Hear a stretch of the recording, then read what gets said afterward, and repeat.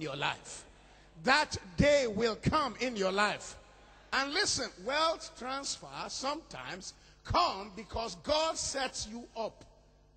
After you've been set up and you first got upset because you were set up, so you were upset.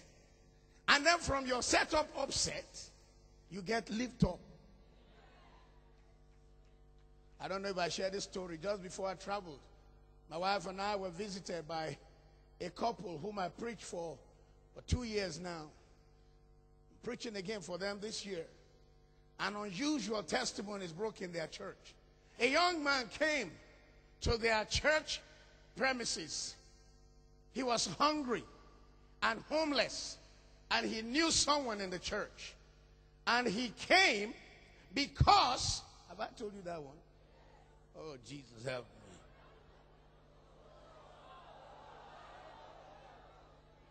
The people who said no, don't come to evening service. Because we have great time in the evening service. This guy came to church hungry, was sleeping rough on the streets of Lagos. He knew that he has a friend eh, who, who can feed him in that church. As he came to the church, he said, Let me go look for my friend. At least man can have food. So he sneaked to the back of the church.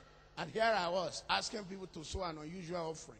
This guy was thinking, I mean, I know how guys who speak pidgin English think. I think this guy they talk. Man won't work. This one they ask for money. Now money I go chop. Oh boy, make you finish quick, quick, boy. Make you yarn on time, Joe.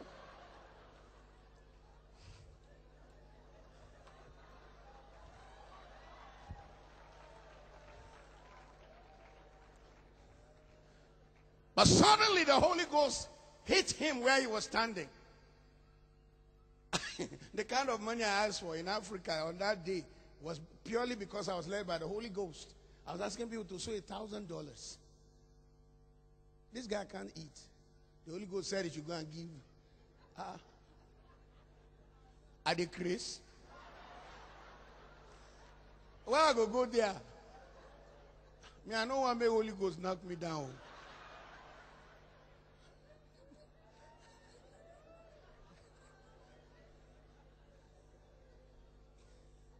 Holy Spirit nudged him to go and pledge a thousand dollars. This guy is broke. Somebody say well transfer. Look at your neighbor. Say this thing is real. Two weeks later, two weeks later, that guy came to redeem that pledge. No, no, no, no, wait. The most expensive part of that city where you can own property is called Lekki. He's now a property developer.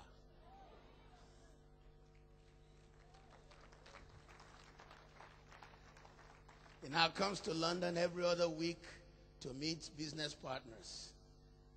He came to church looking for money to feed one night and somewhere to sleep. Two weeks. I, I, I don't know who's here, but I will not teach this message in vain. The oil of God will rest on somebody. It will shatter what has held your father, what has held your mother, what has held your grandfather in the name of Jesus. It will change your story. It will change your story. It will change your story. It will change your story in the name of Jesus. Know, sometimes you are in KICC and you prophesy, somebody's scratching their head thinking, eh, well, it's our pastor, he's just saying some nice things today. I was preaching for a pastor last Sunday in the capital of Nigeria, Abuja. Guy must be running like 10 to 12,000. Six years ago, they were in a ramshackle building. I don't even know him from Adam. He just heard that I was in town, brought a seed to come and sow into my life. And as I was praying for him and his wife, blessing them. I just saw pillars holding a massive church. And I just began to prophesy to him that I see you building a massive building with pillars shall hold a building. And it's going to be such a massive cathedral. Today they have an 8,000 seater church building. And, and on three levels, 8,000 on each level, 8,000. This guy runs three services, and I think he may just be 40 now. Somebody say, This thing is real. Or say louder, This thing is real. So the day is coming. And how is this supernatural? Is this wealth transfer going to take place? Number one, supernatural intervention of God. God will intervene in your life. People will see that. No, what has happened to this woman is the finger of God. How many of you would like not an uncle, not a brother, not a sister, not an institution, not anyone that will claim glory, but the finger of God to rescue you and lift you up, to bless your life, change your testimony, break you free from everything that held you down in the name of Jesus? So shall it be. I said, So shall it be. Not only supernatural intervention, the second way it will happen is supernatural wisdom. Creative idea.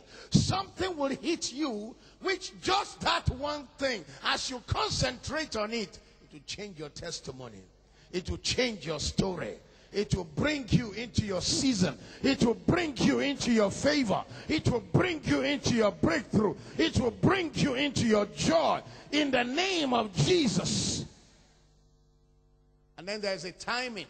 That's why I said this is this is this there is a season in your life. There was the season of the spring, and then there's a season of the harvest. The supernatural, this this wealth transfer I'm talking about, there's a season. 430 years, God observed Israel in Egypt and he didn't do anything. That's, those are the things I'm preaching tonight. Please, I beg you. I beg you. There's nothing. I know World Cup is there, out there. I don't even know who's playing today, whoever they are. You can watch it replay. Just tell your wife not to announce the score to you. It's no use going back to the same job, struggling the same thing. Now you're struggling, continue. You're just doing the same thing when a message that can change your life will be taught. Tonight, I will give eight instances of wealth transfer that change the people corporate transfer and individual transfer in scripture. Overnight change. And the God who did it then is not on holiday. In fact, you now live under a better covenant. Somebody say better covenant. Or say louder, better covenant. Better covenant. This is our season. It's our time for a change to come. It's my time for a change to come. You see, God does things by timing. God doesn't move by your chronos, your wristwatch. He moves by kairos, the appropriate time. There are some delays in your life you were wondering why. He knew why. If you opened the door early, it might have been too early. If you opened it too late, it might have been too late. But just when the right time comes, when the days come, when it will be magnifying to his name, and when it will bless your life, God opens the day. God opens the door. So I want you to know a season is about to start. There is a shift about to happen in your life in the name of Jesus. Or somebody say season. Yes, the season of wealth transfer will require knowing the timing of God. It will require knowing the season of God. It will require knowing when God will do these things, when God will make it happen. Glory to God. And I want to believe that that day has come in your life in the name of Jesus.